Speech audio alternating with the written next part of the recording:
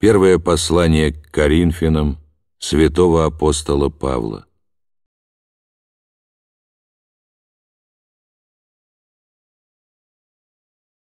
Посмотрите, братья, кто вы призванные. Немного из вас мудрых по плоти, немного сильных, немного благородных.